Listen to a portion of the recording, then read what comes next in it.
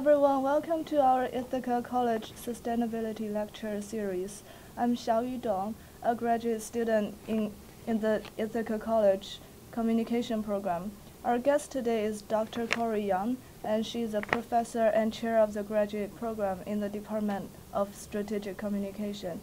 And her academic research area spans from crisis communication, government and shareholder relations, to organizational culture and social responsibility. Hi, Cory. Hi. Um, so um, today's topic will be how an organization can be more sustainable in its employees' relation. Um, so let's start with why should organizations have a sustainability focus in their employee um, relations? Well, before I get into that, I would actually like to explain what I mean by organizations being sustainable towards their employees. So I have three particular ideas in terms of this. One is sustainability, obviously. The second is balance, and the third is growth. So when I'm talking about sustainability, I'm talking about keeping up. That's kind of the idea behind what it means to sustain something, right? Mm -hmm. But also balance and growth. So if we talk about a good relationship in which organizations are being sustainable towards its employees, then that would allow both the organization and the employees to be able to keep up with the demands in a way that doesn't throw either party off balance. And it also means that the relationship between the employee and the organization allows for both to grow. Um, and so this would be a good relationship.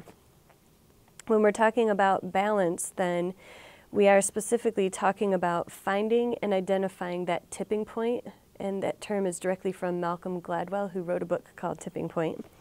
Um, and the tipping point is where is there too much in terms of a bunch of different kinds of things. So when people say that a relationship um, between an employee and an organization is not sustainable, they mean that it is the tipping point is too much in terms of whatever. So it could be um, change, like too much change, too many responsibilities, being pulled in different directions with too many priorities. It could be too much stress, either physical, mental, or emotional. Um, and so therefore, because of all these things, it throws the balance off between employees and their personal life, but also the organization and its employees as well. The last part of this idea of sustainability has to do with growth.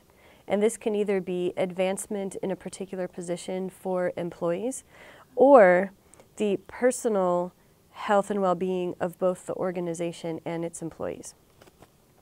So uh, one of the things that uh, I think about this is if a company is being sustainable towards its employees, it's helping the employee grow in a personal way.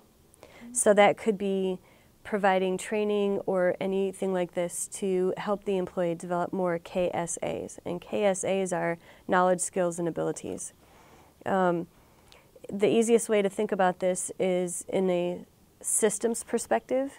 You know, an organization is like an organism, it gets inputs from the environment and transforms it somehow. So if there isn't any of that pulling in of resources and things to transform them, then an organization dies. Well, it's the same thing with an employee. No growth equals death, not physically, but in terms of unhappy employees, unsatisfied employees, or unmotivated employees. And all of those then contribute to an organization not growing as well. So to go back to your original question about why organizations should be sustainable towards their employees, it's because without any of these things, sustaining or keeping up, but not to the point of throwing people off balance, and balance to the point where both parties can grow, and not to the other point. That is one of the main reasons why organizations have to be sustainable to their employees, to allow the organization to grow by allowing the person to grow, by allowing the employee to grow.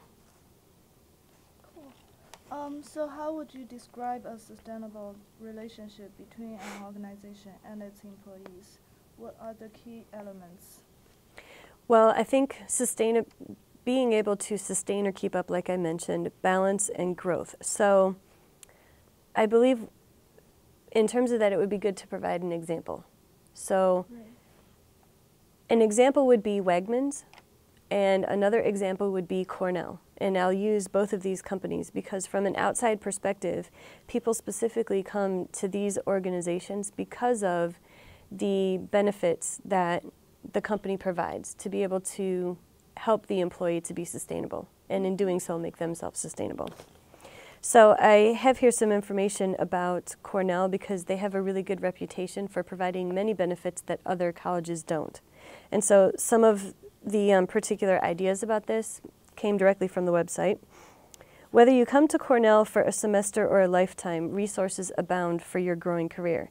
Taking care of yourself, your family, and your pets, and making connections at Cornell in the community so they're even thinking like it's not just about you as the employee, but it's about your family, it's about the community, it's about your pets. Um, and they acknowledge life extends beyond your job. So these resources are available to help with life's other aspects, whether involving parenting, caregiving, for others, taking care of a pet, or just yourself. Now, you look on any other company's website and it's not going to be quite the same. So Cornell has something very unique here that helps to make it sustainable. So some of the things that would be considered benefits are flex time and work arrangements so that individuals can make up their own hours so long as they get 40 hours a week. You can come in at 6 o'clock in the morning if you feel like it and leave at 2 o'clock, or you can come in at 10 o'clock at night and work until 7 o'clock. So you pick your own hours in terms of your um, work arrangements. They also have an on-campus diaper changing station. They have lactation rooms for women that are um, you know, had just given birth and they need to feed their child rather than pumping the breast milk and then, you know, sending it, they actually have rooms where women can go for privacy reasons to feed their child. They also provide on-site daycare, so you can actually have your child there, and when the child is hungry, you simply can take the child to the lactation room and, and you know, feed your child. They also offer adoption assistance and um, elder or adult care, so that would be if you have family members who are elderly, there's actually programs that you can um, have resources for to be able to take care of elderly parents. Uh, there's also financial assistance to faculty and or staff in terms of emergency related issues. So when I believe it was Hurricane Irene that came through, there were many people that lost their houses or had significant damage due to flooding. So you would be able to apply to this assistance uh, fund and get money to be able to help with the cleanup or the care, whatever related to that. Um, there's also contact and profile of potential helpers for babysitting, pet sitting, errands, house sitting, yard care, music lessons, tutoring, cleaning, sport lessons, and fitness training. And then there's pet insurance. So if you have pets, you can actually get insurance through the Human Resources Office. Um, local pet services and discounts that can help manage your pet's care. Um, and last but not least, workshops and services specifically for faculty and staff to enhance their mental, physical, and emotional well-being. So when I look at something like Cornell and I look at another institution, the, clearly from this perspective, they recognize that you're not just an employee, that you have a life outside of work, and that they want to do everything they can to be able to promote a balance between work and family life. The only thing that I wanted to say about this was that at some point in time, organizations still have to hold employees accountable because it can't just be that employees have all these benefits and don't work, right? Yeah. So in order to help the organization be sustainable, there have to be mechanisms in place where people don't take advantage of that to the point where the organization suffers and the work isn't done. Mm-hmm. Another company that I've done quite a lot of research on in terms of corporate social responsibility is Wegmans, because according to a Fortune 100 magazine, they were the top third employer in the United States right. for, for these reasons. So, um, off of their website, I picked up in order to attract and retain the best people, we offer competitive benefits that make the perfect complement to the employment experience for both full-time and part-time employees. So even if you only work 10 hours a week, you get all the same benefits as if you were a full-time employee. So one is um, career development and growth opportunities, flexible uh, scheduling, fast-paced environment, et cetera, et cetera, et cetera. But more importantly, employee discounts, reduced membership to fitness centers, joining a Wegmans sports team, skiing, movies, cultural events, special activities, auto services, sports discounts, and other things to like Walt Disney World, Cypress Gardens, these kinds of things. So Wegmans is different because they offer this to both full-time and part-time employees, which is really something that's quite unique in companies nowadays. So those are examples um, that you know take into consideration the three things I mentioned before about sustain, growth, and then balance. Cool. Um, so, um, for organizations considering become more sustainable, how do you achieve success with regard to your employee base? So one thing that I was thinking of, and one thing that I know organizations do, is do an internal communications survey. So without doing this, um, an organization isn't able to know what is important to an employee. Uh, so the survey itself would be taking an inventory of what kind of resources are available in the organization and matching that with what employees say are important. And if these two things don't match, then there's the potential for the organization not to be sustainable. But if these two things do, then there's the potential for both the employee to be happy and satisfied, etc., and the organization because they're getting the maximum amount of effort out of an out of an employee. So I think it starts internally, but also there's a concept that I'm not quite sure many people are familiar with, and that's called boundary spanning. So it simply isn't taking a survey or the internal pulse of what's inside the company, but also doing the same externally. So, for example, there may be some kind of issue that people outside the company are concerned with. One might be social media, right? Mm-hmm. So then it's not only, okay, are employees wanting to use social media? There might be issues that you have to take into consideration. But if you're not looking on the outside of the company, then you might not necessarily know that that could be something that's important. So it's basically doing an internal and external survey or a SWOT analysis, you know, strengths, weaknesses, opportunities, and threats, to determine what is most appropriate to have an employee be as satisfied as possible while also satisfying the organization in terms of its needs. Hmm. And that's the way that you maintain sustainability. Um, so we all know about Walmart's global reputation for mistreating their employees. Yes. And uh, for 2011, a group of women also filed a sex discrimination lawsuit against Walmart. Can you share some of your thoughts uh, how this negative public um, reputation might affect Walmart and what steps an organization can take to, re to reverse the situation? So, in all reality, um, Xiaoyu, this is something that Walmart has been dealing with actually since about 2007. And this was a pattern of behavior. And what was happening was that a certain number of women, and, and the number I'm not quite sure of, but it was enough to make a class action lawsuit. So it happened at mm-hmm. almost every single store, and it was a, a mass amount of people. Walmart was, number one, not promoting women. So if you looked at the, the tier of who's up in the higher administration and, and, you know who's kind of you know the sort of staff, women were more than likely represented on the bottom. And it wasn't just women, it was also minorities. So there were very few people of color or of, um, you know, female origin, if you will, that actually were able to make it through the ranks. That was one part. The second part was that individuals were being asked to punch out, you know, their time card, right. and then working 10 to 12 hours overtime without getting paid. So it wasn't just that they weren't getting promoted, there's actually something called wage theft, which means that the women weren't getting paid what they should have been getting paid, but they were asked by administrators to punch out, and then it was basically free labor. So enough of this happened to enough of the women within the company to file what they called a sexual discrimination lawsuit. Um, and uh, I always thought that was kind of interesting because rather than saying it was a gender discrimination lawsuit, it was a sexual discrimination lawsuit, which is a, a difference in semantics and terms. So, one of the things I know that Walmart started to do was advertise on television and YouTube and some other places. They picked very specific people and showed how they had moved through the ranks and made it so that it was sort of dispelling the stereotype. Oh, it's not all women. There are certain females that have been able to advance and get through. And um, that paralleled with advertisements on television and elsewhere that showed minorities as well, that were able somehow to dispel this sort of stereotype.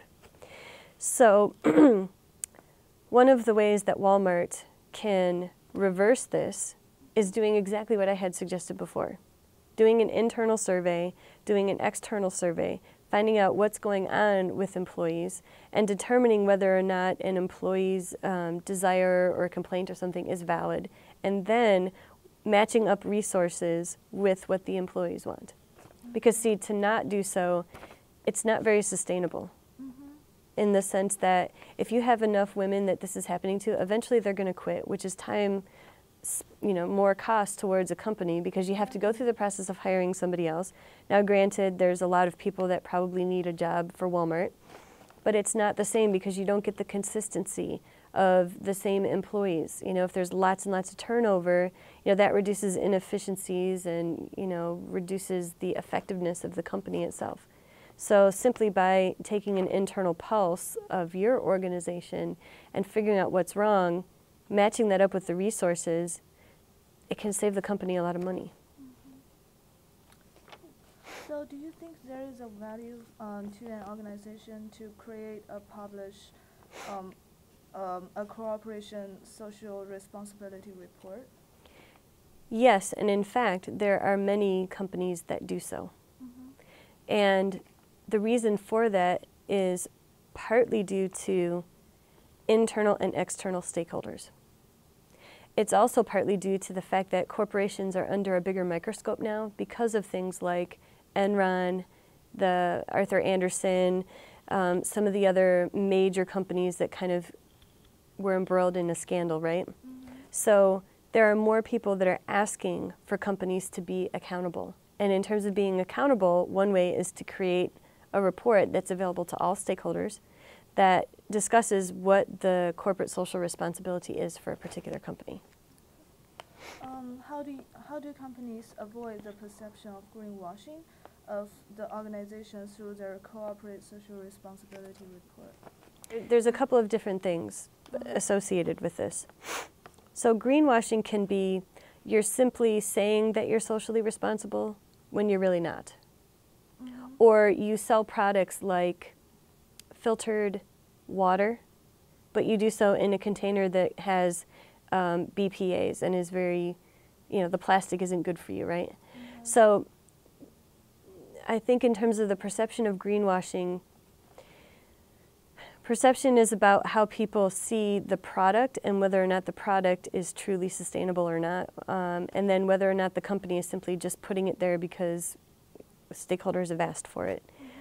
So one of the ways that people can avoid that perception is number one, if you're really not socially responsible in terms of everything about social responsibility being integrated into your corporate structure, then simply don't create a report because the minute that you do, you're putting information out there that says this is what your company is like. Uh -huh. um, so that's one way to avoid that. The other way would be to if you do have some sort of corporate social responsibility structure, then make it align with the information that you're publishing. So instead of saying, well, we're doing all of these particular kinds of things, maybe focusing on one thing that you know you're doing well. Okay. All right. Um, are there any standards for what we should be included in such reports of organizations' progress in all areas of sustainability, like economic, um, environmental and social? Yes, and in fact, there is a an organization called ISO, and it's called the International Standard Organization. They actually created a standard, and it's ISO 26000. Mm -hmm. And it does lay out very specifically what an organization do, can do to be socially responsible. So in terms of this, if you publish a report, it would be very good to align the report with the standards that the company had set out. Okay. Um, how, okay, how did you infuse sustainability concept into your coursework? So when I arrived here, I was tasked with the ability to create a new class called Government and Stakeholder Relations. And when I thought about this, the first thing that came to my mind was how organizations develop their corporate social responsibility. So I went through the process of creating a class and I built in this is the thing that I'm going to talk about. But more importantly, in terms of this, the, the first thing that I do in the class is that I talk about what is a corporation. Because a, a corporation is very different from an organization. There is actually a legal definition of a corporation. And so I start with that. And then I talk about government. So, what are the kind of uh, rules and regulations that a corporation has to abide by? And these are the things that I talk about, like um, Sarbanes Oxley, which is a direct result of Enron in terms of financial reporting and being transparent. So, we talk about that. Um, we also talk about transparency overall in terms of how transparent you want to be. Do you want to reveal everything? Do you want to reveal something? Do you want to reveal a little tiny bit? Uh, and so we talk about those things. And then the relationship part is where we talk about sustainability and responsibility. So when I taught the class two semesters ago, two springs, so this was spring 2011, one of the projects that the students worked on was developing a chapter for our introductory communication textbook. And we specifically chose a framework that was developed by um, Chandler and Werther, and it's called Strategic Corporate Social Responsibility. And they lay out all these different components and elements. So we decided to take this information and apply the framework to analyzing two companies that we thought would be the most sustainable. And the two companies we picked were Google and Wegmans. So the end result was that a chapter was developed for this introductory text so that everybody that comes into the Park School and takes the introduction to strategic communication knows then how to be able to look at corporate social responsibility from a strategic perspective and also to understand the relationships that corporations have with the government and with their stakeholders. That's great. Um, so what advice do you have for other faculties to integrate sustainability topics into their coursework? Number one, I think you have to determine if sustainability or corporate social responsibility is appropriate. Mm -hmm. If you're teaching French, that may or may not necessarily be appropriate for you to integrate that particular kind of idea into your course. But if you are teaching like uh, an introduction to corporate communication, that should be an aspect that you talk about. Mm -hmm. uh, or if you are talking about designing communication strategies. One strategy is how organizations develop their corporate social responsibility. So it really truly depends on the type of class and the sort of structural units that would be appropriate for that class. So the last but not, not the least, to conclude today's interview, um, can you please give us your perspective on what sustainability means in communication terms, and how would you suggest individuals to practice sustainability on a daily basis? Okay, so sustainability in communication terms is something that is entirely socially constructed. So, how you define social responsibility or sustainability isn't quite the same as how I would define it.